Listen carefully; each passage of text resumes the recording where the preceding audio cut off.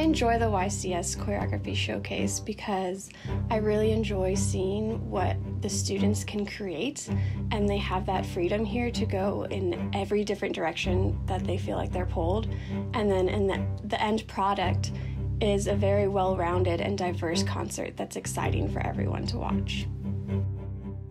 My piece is about three individual dancers on their unique paths to the same endpoint which could be them achieving a goal or overcoming an obstacle, but they all get there a different way.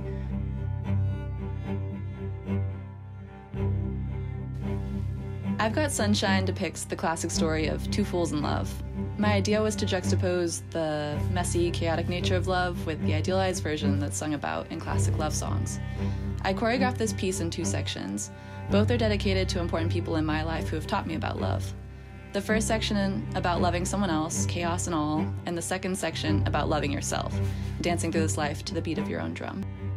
I think being a part of YCS is both a challenge and an amazing opportunity because it's it's something that we do on top of our our season that we have in place. So it's a big time commitment, and um, all the hours we put in are you know after hours for OFB or CDO, and so we spend a lot of time in the studio, but it's something that we all elect to do and love doing because it's the only the only time in our lives that we'll get an opportunity to put our work on a huge main stage for you know just for volunteering. And so I'm very inspired by music when I choreograph, and this year I had a bunch of songs that I had found, and I was trying to decide which one kind of spoke to me, and. Um, I was actually watching the news one day and saw that there was just a terror attack in Barcelona, and it deeply saddened me just because I spent my summer there and truly fell in love with the life and the happiness that the city brought. And then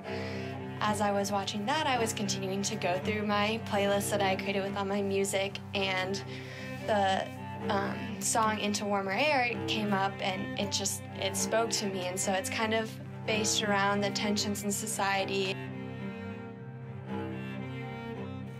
My piece is about the process of forgiving your past in order to create room for new relationships. I named my piece Amor Fati after the Stoic practice that literally translates to love of fate. Choreography is difficult because at the end of the day, you need to be able to negotiate what you'd like to see happen with the realities of physics and your dancer's instincts.